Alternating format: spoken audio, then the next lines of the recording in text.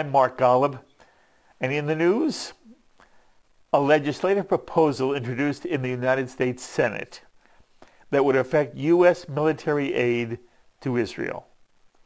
The Senate proposal is in the form of an amendment to the National Defense Authorization Act and would restrict U.S. security to Israel if Israel extends sovereignty over parts of the West Bank. In essence, this Senate amendment would prevent Israel from utilizing U.S.-funded equipment, including missile defense systems like the Iron Dome, to protect Jews living on the West Bank. In addition, this amendment also increases the growing partisan divide on Israel, since it's offered only by Democratic members of the Senate. The amendment was introduced by Maryland Senator Chris Van Hollen and was co-sponsored by Connecticut Senator Chris Murphy, Vermont Senators Bernie Sanders and Patrick Leahy, Massachusetts Senator Elizabeth Warren, New Mexico Senators Tom Udall and Martin Heinrich, Hawaii Senator Brian Schatz, Delaware Senator Tom Carper, Wisconsin Senator Tammy Baldwin, Oregon Senator Jeff Merkley, Virginia Senator Tim Kaine, and Ohio Senator Sherrod Brown. Again, all 13 senators are Democrats. The Senate amendment comes after similar actions taken by House Democrats. 191 House Democrats signed a letter opposing any Israeli attempt to extend sovereignty over parts of the West Bank. And in May, 19 House Democrats warned Prime Minister Netanyahu against taking steps that would, quote, fray our unique bonds, imperil Israel's future, and place out of reach the prospect of a lasting peace, unquote. On top of all this, Democratic Congresswoman of New York, Alexandria Ocasio-Cortez, is seeking legislation that would put conditions on America's entire $3.8 billion in U.S. military funding to Israel. Well, where do attempts to extend Israeli sovereignty over parts of the West Bank stand now? And how concerned need American Jews be over the Democratic-sponsored actions taken by House and Senate members. For some answers, I'm happy to be joined by the former member of the Israeli Diplomatic Corps, who's now, I'm so pleased to say, JBS's Senior Vice President, Shahar Azani. Shahar, first of all, so good to see you. Always a pleasure, Mark, to be back with you and with, with our JBS viewers. So, Shahar, let's start from the beginning. Before we go to the legislation or the amendment proposed in the Senate, where is Israel now in terms of extending sovereignty over parts of the West Bank? Well, to quote uh, Prime Minister Netanyahu a few days ago, the discussions of extending sovereignty over parts of the West Bank is not set for July 1st, but will begin on July 1st because at the moment, Israel is immersed in an intense crisis of a great and significant magnitude as a result of COVID-19, both as a result of a significant spike in various parts of the country in uh, the disease itself, as well as the economic ramifications, the unemployment and small businesses that have been coping with this terribly tragic situation. So the prime minister, as indicated by many statements that's coming out of his office in the past couple of days, is busy building up a new economic plan for June 2020 to June 2021 to assist all of these people who are in great, great um, trouble. And in Israeli media, there are rampant images of people who are suffering, uh, stealing food from supermarkets and getting ready for big demonstrations this coming Saturday night as a result of these dire straits. Let's talk about this for one moment, then we'll come back to sovereignty. When you talk about demonstrations, and there are some people suggesting that people are threatening violence in Israel, For so long, Israel was touted as having been one of the countries that did the best in dealing with the coronavirus. Then they opened things up, and it seems, Shahar, everything's fallen apart. And in some way, it is now reminiscent of what we see on the streets of America, but for very different reasons. When we hear people talking about violence, in your mind, is it possible that we will see Israelis literally being violent or ri- rioting in the streets because of what economic ramifications the coronavirus is having on Israel? So we haven't seen it so far, but in the past couple of days, Mark, we have been hearing voices and threats from various directions, especially looking into Saturday night's uh, potential demonstration, that there may be some elements of violence or unorderly beha- disorderly behavior and especially you hear a lot in the past week about the cry of the cultural world in Israel, of the many people behind the scenes who work as part of that scene, who are in terrible, terrible pain, and who are aching the fact that the government has not proposed a solution for their pain, which is why the expectation was, by the way, the prime minister was supposed to come up with this plan two days ago, and there had been a delay. The anticipation is that the prime minister will come out possibly even tonight with a major announcement and press conference to the Israeli public, especially looking into Saturday night, because we are trying our best, and I'm sure the Israeli government will try do its best to make sure that there will be no need for violence. However, the Israeli public is very disappointed in this national unity government, which is nicknamed, by the way, the Corona government, in the way it's been handling the crisis and in the lack of solutions, while at the same time, they find every possible reason to bicker in the Knesset. So while the ordinary Israeli who's been out of work for a few months, who saw a glimmer of hope only a few weeks ago as if things are going to go back to normal, suddenly hears about new limitations because of the spike, and at the same time, instead of receiving some sort of assistance, is seeing the Knesset being this uh, continuous political brawl, which is very disappointing. And what would people be violent over? What's their goal on the streets of Israel? Well, I can tell you that um, it's not in the Israeli nature to tear up statues' heads or to uh, rewrite pasts. What Israelis are aching for is food on the table. We are a forward-looking people the pain that people are experiencing now is real and current and relates to their lack of ability to provide for their for their families and for their homes, which is the reason why they want their voices heard. And the threats of violence are connected to that that desire. Toward to what end? Toward what end would violence get them closer to food?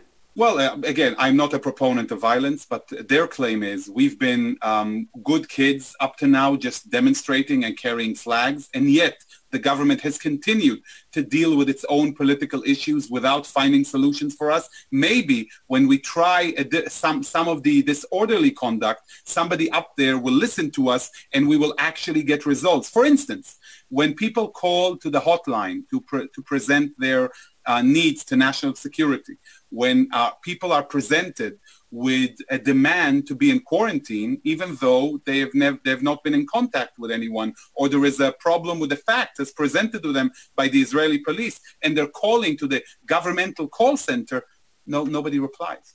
There is no answer. They can be on the line for two hours. Nobody would reply. What would happen is if they're unable to appeal the decision to remain in quarantine and they come out, it's a fine and a very expensive one. But so what happens when this individual who received this error message that supposedly they've been somewhere they had not and they need to go to work and they're supposed to stay in quarantine. So if they leave their house and they weren't able to appeal, they're going to get a fine. But if they don't leave their house, they can't go to work. It's an impossible reality. Mark, okay. And very difficult. And I still don't understand. The violence would be against whom? Police, against property, what? Against the government's indifference. They claim that the government has been indifferent to their pain but who, without. Who are you going to be violent against?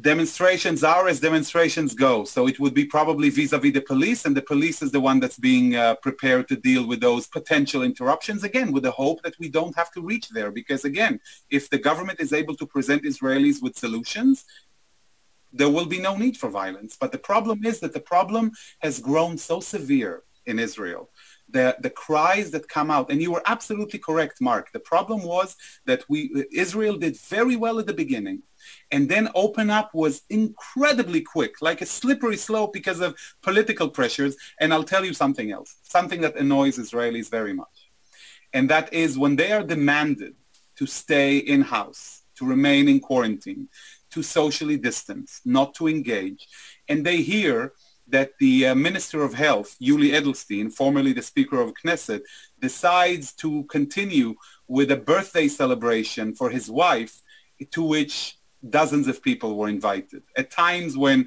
people are not allowed to converge, not even for family simchas or for events in, in banquet halls or stand-up comedy routines or any other public uh, conference. And the Israeli public looks at this and says, excuse me, you're demanding something of me that you do not uphold. If you remember during Pesach, we had similar issues with the prime minister. When his son Avner came, we had a similar issue with President Ruvi Rivlin. And some of the Israeli public has had enough. All right. Come now back to the issue of the Senate amendment. Um, I was asking basically, are you saying to me that at the moment, the whole question of extending sovereignty over the West Bank has been put on hold? Or are you saying something else? Are you saying, Shahar, that the issue has sort of evaporated and at the moment even after the coronavirus is dealt with, this issue will no longer be front and center on the Israeli scene. No, the, the reality is that whether it's due to the coronavirus or for another reason, the Israeli public was not enthused by the issue of uh, sovereignty extension. There had been criticism of the move from right to left. There hasn't been a, a, a united voice even within the national unity government, whereas the Gantz faction of blue and white did not agree with Benjamin Netanyahu and the Likud. I do not think, though, Mark, that this is merely a smokescreen. I think there is a, a real issue here that's definitely going to go come back on the table. But at the moment, COVID-19 takes uh, front stage and we don't know for how long that's going to be. Let's hope that for the shortest time possible because we all yearn to go back to the same old, same old. Absolutely. All right, speak about an issue that we've heard discussed within the American Jewish community, the question of language. There are people who argue that the word annexation and the words to extend sovereignty over have very different meanings and that the word annexation is a word with negative overtones and somehow extending sovereignty doesn't have those overtones. I want you to first explain to the audience what are the difference between those two terms in Hebrew. Uh, in Hebrew, are the terms as different as they sound in English? And then, you know, based on all of your experience within the diplomatic corps, what's your sense of the discussion between extending sovereignty over or annexation? Well, I can tell you first that um, the in in Hebrew, the extension of sovereignty, hachalat ribonut, and annexation, sipuach, are very much similar. And in Israel, you would use both terms um, to, to discuss the actual deed, which is extending sovereignty over parts of the West Bank. And I have to tell you on a personal level, I think extension of sovereignty is much more relevant, respectful, and indeed true because that's exactly what sipuach, annexation, means, that Israel is extending its sovereignty. So let's be clear about this. When it comes to the uh, American discussion, it's clear that some view the word annexation as some sort of a a slight or a tendency to criticize the move by Israel because it's taking over somewhat forcefully and unjustifiably, whereas extension of sovereignty, but here it is. At the end of the day, that's exactly what Israel is doing. Israel is extending sovereignty to parts of the West Bank that are, will remain in the hands of Israel, whichever settlement we, we reach. But there is a bigger question here than just a question of annexation or extension of sovereignty. And the question is, where's Waldo? Where is Walid? Where are the Palestinians, Mark? Because it seems if you read the papers, both here and in Israel and internationally, who is discussing the issue of extending sovereignty? It's Benjamin Netanyahu and Benny Gantz trying to reach an agreement. It's Gabi Ashkenazi, the foreign minister with the German uh, foreign minister. It's Angela Merkel and Benjamin Netanyahu. It's the United Nations, uh, Guterres and the ambassador Danny Danon. It's the U.S. administration with various voices and Israel. But where are the Palestinians in all of this? Nobody seems to be even asking that question. I think that at the very foundation of any movement in the Middle East, there has to be the understanding that the Palestinians, they need to care about this. They need to want this. And if they don't want this, then Israel cannot hold its future hostage to their intransigence or their delusions that somehow Israel will vanish off the face of the earth. And somebody has to pose this important question. Okay. What you'll hear in America is the following response, even from American Jews. The understanding we have is that Israel is, whether it's annexation or extending sovereignty, it's doing it unilaterally. That it has made this decision without even needing, from Israel's perspective, or caring about what the Palestinians want or feel the attitude is Israel has been willing to enter a two-state solution basically since before the state was established. And the response from the Palestinian world is summarized by what the Arab League said in 1967 at Khartoum, no peace, no negotiation, no recognition. That basically the idea of a Palestinian government wanting to live alongside the Israeli Jewish state of Israel is something that is they just don't want at all. And their you and I have discussed this.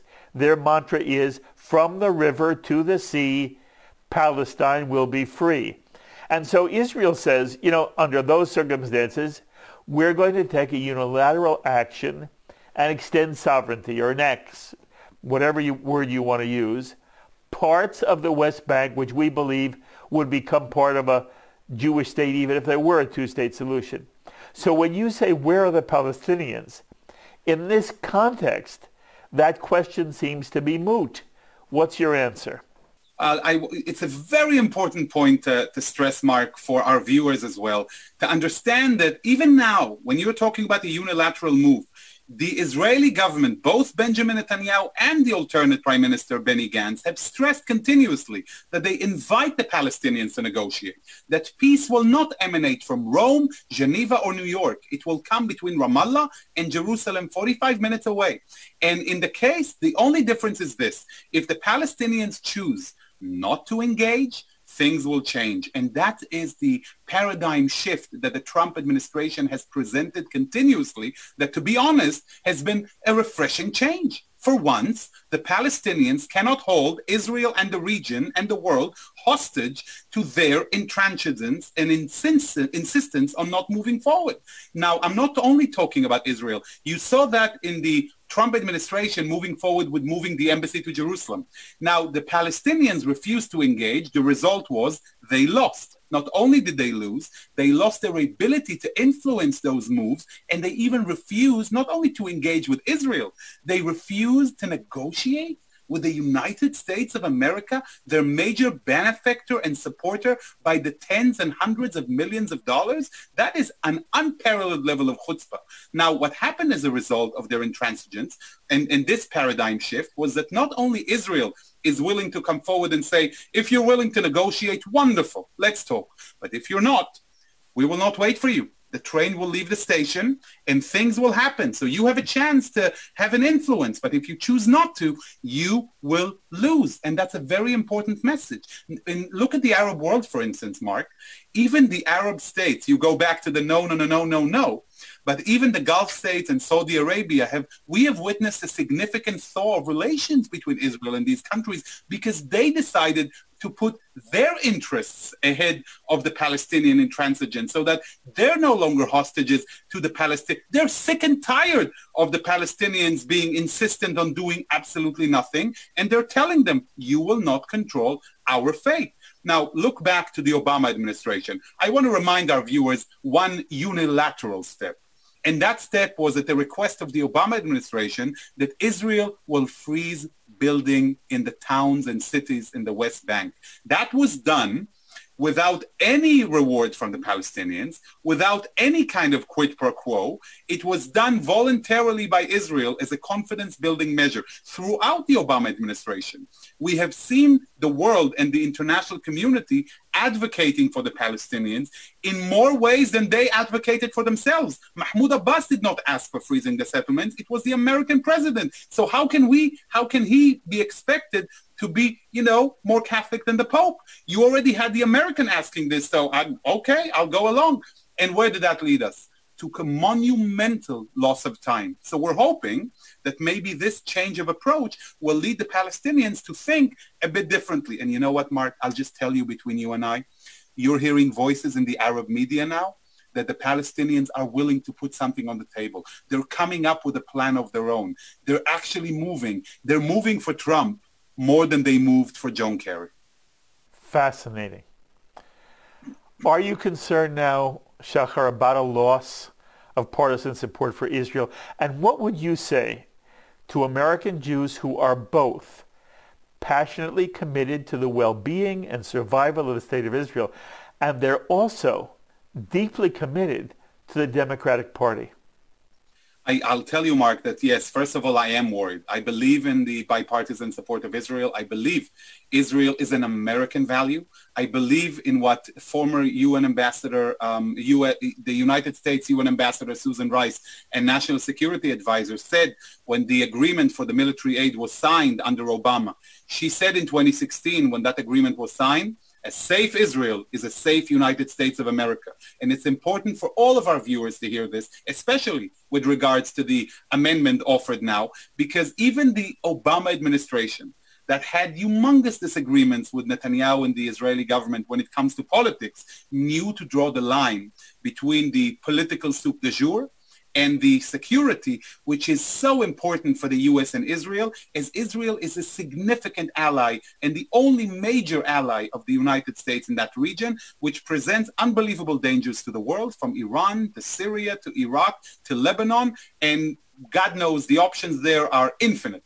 So there has to be a line drawn. And to the American Jewish community that's committed to the Democratic Party, I urge you today to make your voice heard within your camp to charge again and claim your place because it seems like the place of Israel is lost in the ranks of the ultra progressive parts of that camp. When a couple of years ago in the Dyke March, it was inappropriate to carry a Star of David in a country that is a bastion of LGBTQ rights in the Middle East, Israel, that is a hub for so many who escape into Israel to find refuge for themselves and their families and their souls. And you tell Israel and the world that we are contradictory to social justice. If that is important to you, then all of you who are part of the Democratic Party, you have a special vestige point to rescue the place of Israel, to reclaim the just and, uh, and proper right of Israel, because it's very important that Israel does not become a partisan issue. And it's clear to me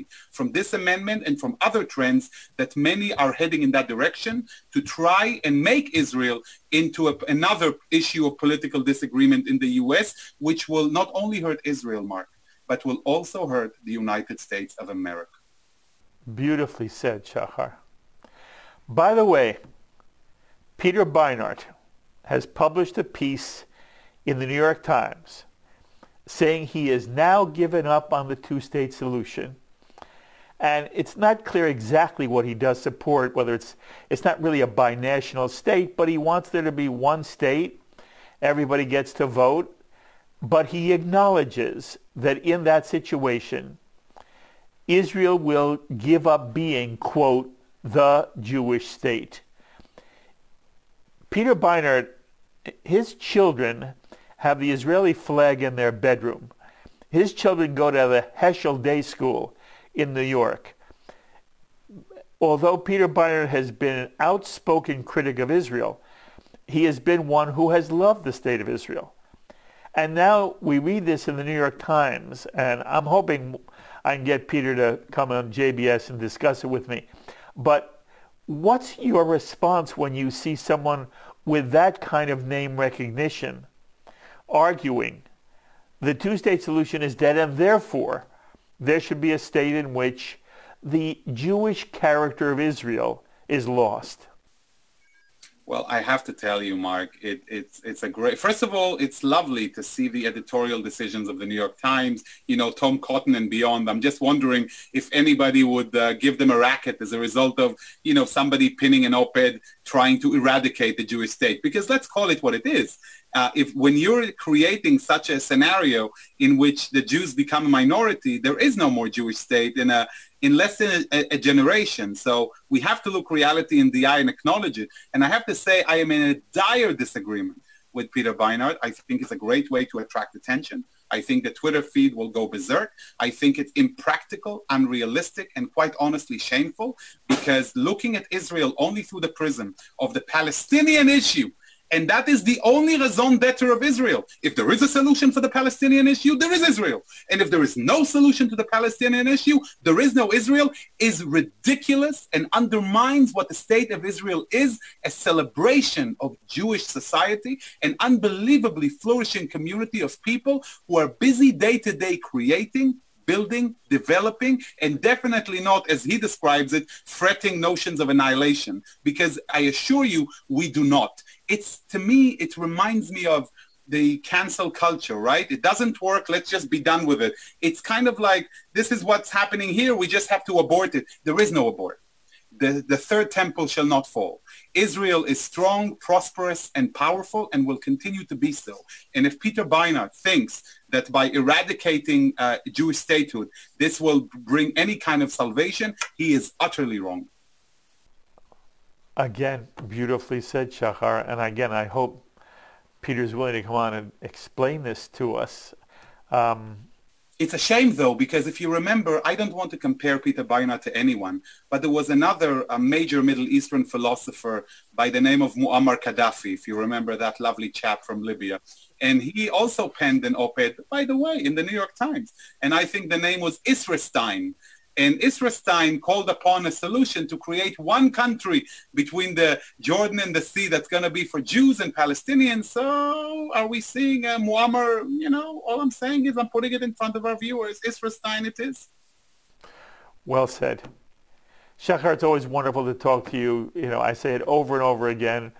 We're thrilled that you're part of JBS. I love what you do. So I'll just keep, you know, you and I will just keep talking and sharing your views with the JBS audience. In the meantime, you and your family stay well, all right? Thank you very much. And it's always a pleasure and super important to be such an intimate guest in so many people's homes, which really energizes us pre-COVID-19, during COVID-19, and long, long after COVID-19. Thank you, Mark, for having me. Thank you, Shahar. Be well. The thoughts of JBS's Senior Vice President, Shahar Azani, and he gives us a sense of what's going on in Israel like no one else can. I, I really hope you've enjoyed listening to him once again and more importantly, learning from him. My thanks as always to our director, Sloan Copeland, JBS's managing director, Dara Golub, transmission manager, John McDevitt, and to the producer of In the News, Carol Lilienthal. Until the next time, I'm Mark Golub. Stay safe and be well, my friends.